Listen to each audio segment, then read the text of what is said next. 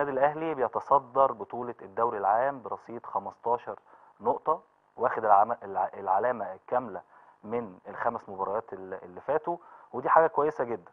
ومع كل ده في هجوم كبير جدا برضو على موسيماني التشكيل التغييرات والراجل ليه حق يتضايق بصراحة يعني. الراجل كسبان الزمالك 5 3 وماتش في المحلة صعب جدا في الدقيقة الأخيرة بيكسب وبيطلعوا ال- الصحفيين يسألوه أسئلة ممكن أنا من وجهة نظري شايفها مستفزة لراجل شغال وشغال كويس قوي الفترة آه، اللي فاتت. بالنسبة لتعادل الزمالك أنا بالنسبة لي ما اتفاجئتش خالص بالنسبة لتعادل الزمالك. مش عشان فرقة الزمالك ما تقدرش ان هي تكسب آه، فرقة ال- البنك الأهلي لكن فرقة الزمالك اللعيبة مش حاسة بالمسؤولية. مش حاسة بالمسؤولية بمعنى إيه؟ إن أنت عندك مباراة الأهلي آه، والزمالك لما تخلص خمسة ثلاثة يطلع الإعلاميين بتوع نادي الزمالك أو يطلع جماهير نادي الزمالك تقول إن الزمالك كان كويس فاللعيب تلقائي بيخسر بيلاقي ناس بتسانده في الخسارة فطبيعي إن هو ما يبقاش عنده مسؤولية. لازم دايما ال- الجماهير تحط ضغوط على اللعيبة. مش هحط ضغوط إن أنا هاجم اللعيبة لأ بس اللعيب يحس إن الجمهور بيتضايق الجمهور بيزعل.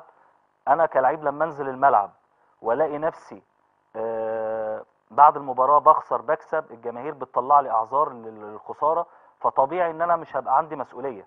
يعني مباراة الأهلي والزمالك لما تبقى خلصانة إن شاء الله حتى خلصانة 5 4 أو خلصانة 1 0 في الأول وفي الآخر دي مباراة قمة فالطبيعي إنك أنت تطلع لأ تزعل تتضايق ما تقولش مثلا كسبت الشوط الثاني 3 2 أو الشوط الأول 5 2 ايا كان لازم أنت بتتعامل مع المباراة كمباراة كاملة. ف لعيبه نادي الزمالك لازم الفترة اللي جاية يحسوا بالمسؤولية لأن فعلا هي دي الحاجة اللي ناقصاهم. لو هنتكلم على الفنيات فرقة نادي الزمالك يعتبر من أحسن الف... مش هقول من أحسن الفرق أحسن لعيبة موجودة في مصر في فرقة نادي الزمالك. لكن زي ما أنا قلت ما ينفعش أبقى خارج من مباراة خسران فيها 5 3 وأطلع أحط مبررات وأحط أعذار للعيبة وأقول المدرب عمل خطة جامدة. لا طبعا. النادي الأهلي بالعكس لو كان حصل فيه النتيجة 1-0 أو خسر كان الموضوع يبقى مختلف كان هيشوفوا إيه أسباب الهزيمة. لكن إن أنا أطلع أقول إن 5 3 نتيجة عادية والشوط الثاني كسبت 3 2 هو ده أنت بتحط عدم المسؤولية للعيبة. فإن شاء الله بنتمنى بنتمنى التوفيق ال- الفترة الجاية لنادي الزمالك مجلس الإدارة الجديد وبنتمنى التوفيق للنادي الأهلي وكل حاجة تستقر. يمكن إحنا برضو الفترة اللي فاتت اتكلمنا عن أشرف بن شرقي. أشرف بن شرقي قلنا إنه مش هيجدد ده الكلام ده من خمس شهور.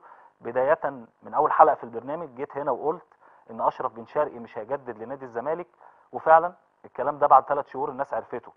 لما اتكلمت مش بتكلم ان أنا عارف معلومة معينة لا الظروف اللي كان فيها نادي الزمالك في التوقيت ده واللعيب كان بيقول لناس قريبين إن هو صعب يكمل في الظروف ال- اللي موجودة. الوضع دلوقتي أنا ممكن أقول الوضع مختلف بالنسبة لي إن ممكن أشرف بن شرقي يجدد للزمالك. بنسبة 99% هيجدد مش علشان هو بس عايز يجدد لأن العروض اللي كانت معروضة عليه خلال الفترة اللي فاتت ابتدت تقل بسبب تراجع مستواه خلال الفترة آه، اللي فاتت. الموضوع دلوقتي في إيد نادي الزمالك.